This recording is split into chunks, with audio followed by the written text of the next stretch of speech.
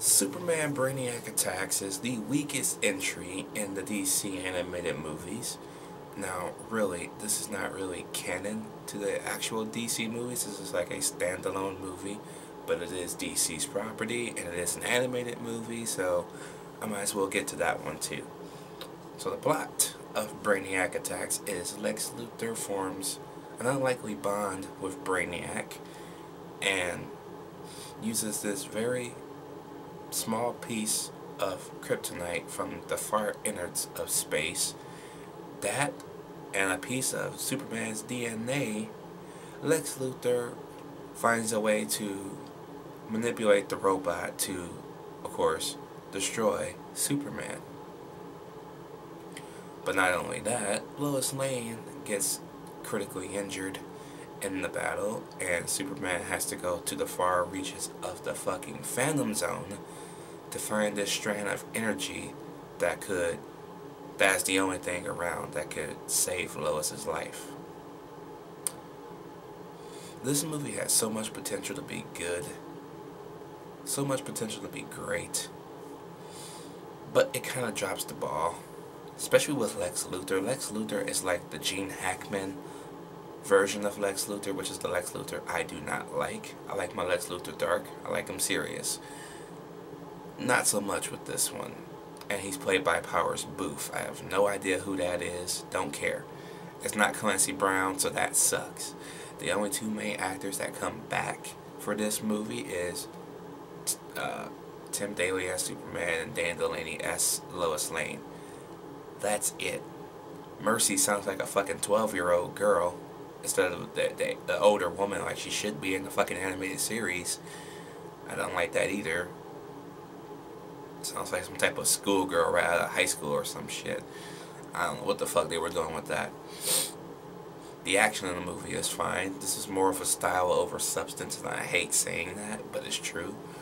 The action actually saves this movie because it's pretty damn good. I like how the fact that Brainiac can regenerate like the T-1000 that was actually pretty decent. I actually like that. So if he's very badly damaged in battle, he can regenerate himself. Kind of like Christine from the movie Christine.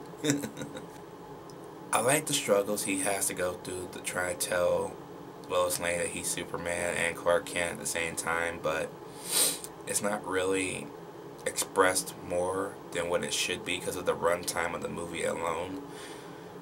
I wish the movie had a lot more time to go in depth with that because that would be something awesome to look at because that's what Superman has to fight to deal with on a daily basis anyways. So why not see him actually struggle with that? You know, give give him a reason to want to tell Lois, but it kind of gets glossed over because the story has to move along and Lois has to be constantly in danger of dying and stuff like that. So it could have been so fucking much better than what we got. I'm not joking. Why couldn't y'all just get all the voice actors back? It doesn't have to be a in the the moment DC animated movie, you know. Just get the same actors. I, I wouldn't have no more other problems in that besides the story. Then they bring out back the fucking actors, all of them, not just two. Okay. But I digress. Again, this is the weakest entry in the series, especially let alone for Superman. But it's not the worst. This is like Superman 3 weak, but it's not the Quest for Peace bad. Oh, hell no. It's a million miles better than that. I would rather watch this again than the Quest for Peace. That's for fucking damn sure. I watched fucking Supergirl the movie over the Quest for Peace. Yeah, I said it. Ooh. Ooh. No, no way. But I do gotta review Supergirl, that and the show, so it's coming anyways. But uh, yeah, I will give Superman Brainiac Attacks a C. Let me know what you guys think about Brainiac Attacks down below. Did you like it? Did you not like it? That is it. I have now reviewed all DC animated movies that is out right now. The next one's coming, The Killing Joke.